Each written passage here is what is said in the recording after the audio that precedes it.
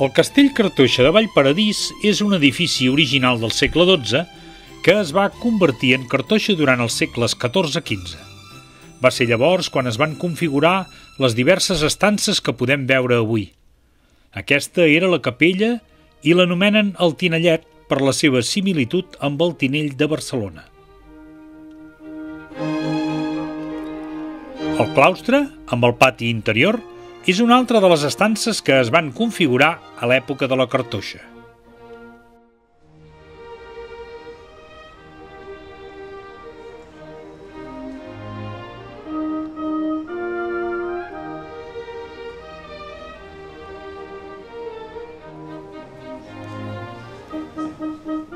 La coberta de l'antiga sala capitular és amb arcs de creueria i clau de volta, el castell Cartoixa de Vallparadís va ser restaurat al 1959. Des d'aleshores s'ha utilitzat en funcions museístiques i avui és la seu principal del Museu de Terrassa.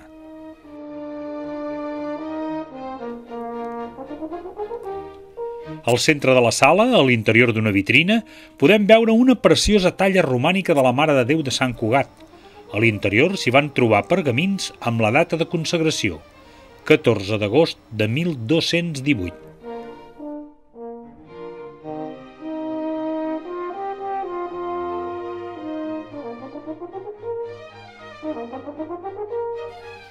Dues maquetes fetes amb la tècnica dels passebristes ens ajuden a veure el possible aspecte de la vila de Terrassa emmurallada.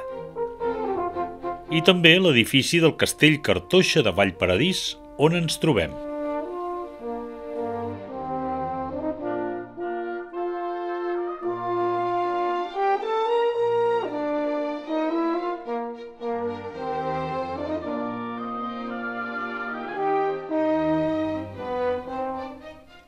Un plànol interactiu ens mostra els diferents conjunts històrics de la ciutat i el creixement urbanístic de Terrassa. Dalt, en una altra sala, podem admirar l'anomenada Creu Gran, que havia estat durant segles emplaçada damunt d'una font a la plaça a la qual havia donat nom, la plaça de la Creu Gran, just al cap del pont de Sant Pere. Una fotografia antiga ens la mostra tal com era.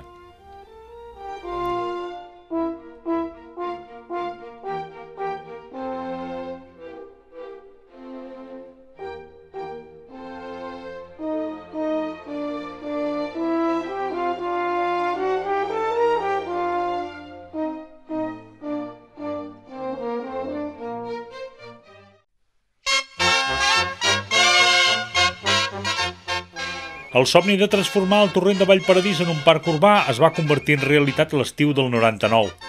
Els diversos camins amb abundor de vegetació conviden a fer-hi una passejada tranquil·la. A banda i banda hi ha dues joies monumentals, el castell Cartoixa que hem visitat i les esglésies de Sant Pere.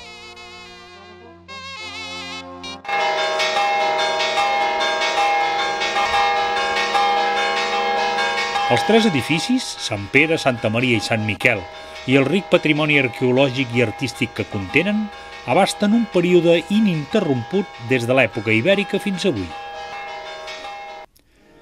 Aquesta església correspon a l'actual temple parroquial de Sant Pere. El retaule d'obra que tapa l'absidiola central, a base de fornícules, arcs, columnes i capitells aprofitats, són decorats amb pintures al fresc.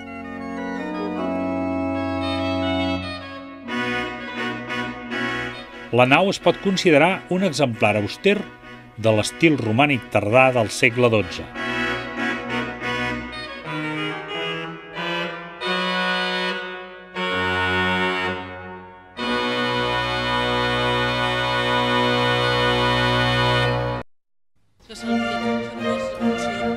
Aquest conjunt monumental és motiu d'estudi i d'excavació des de fa anys. Amb les noves aportacions es van dibuixant plantes que es pinten de colors diferents per ajudar a entendre millor les diferents èpoques de construcció.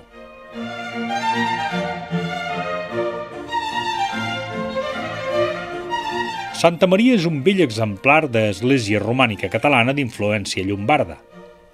El campanar és entregirat i col·locat damunt del cimbori.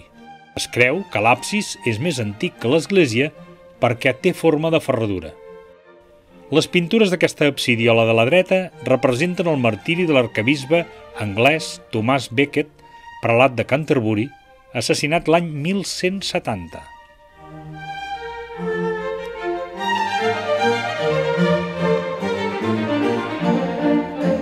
Una altra de les riqueses d'aquest temple són els retaules. Aquest correspon a Sant Sanent i Sant Abdon, els famosos Sant Nin i Sant Non, patrons d'Arles al Vallespí, presents també a Mallorca i a l'ermita de Togores de Sabadell. És obra de Jaume Huguet del 1460.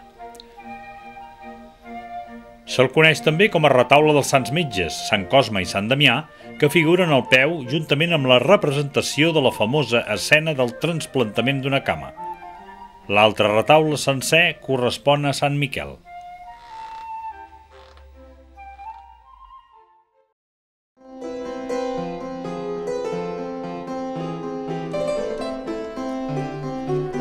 El baptisteri de Sant Miquel és situat al centre del conjunt entre Sant Pere i Santa Maria. Es creu que va ser construït entre els anys 600 i 900 amb materials aprofitats d'altres edificis més antics que havien existit aquí. Té una planta quadrada, segurament perquè no tenia les funcions d'església, sinó les de baptisteri. Podria haver estat, doncs, una dependència separada però íntimament relacionada amb les altres dues esglésies. La pica de batejar que veiem no és original, sinó refeta segons la imaginació de Puig i Cadafalc. Les pintures que decoren la volta de l'absis són considerades les pintures murals cristianes més antigues de Catalunya.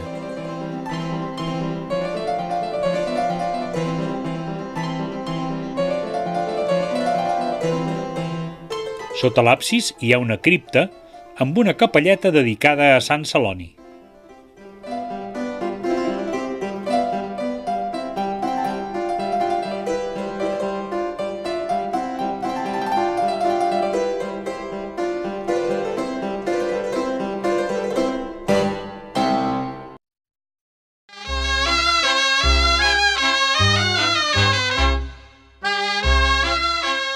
Fora del recinte trobem un edifici que havia estat l'Ajuntament del municipi de Sant Pere de Terrassa, dit també de la part forana de Terrassa, que va desaparèixer l'any 1904.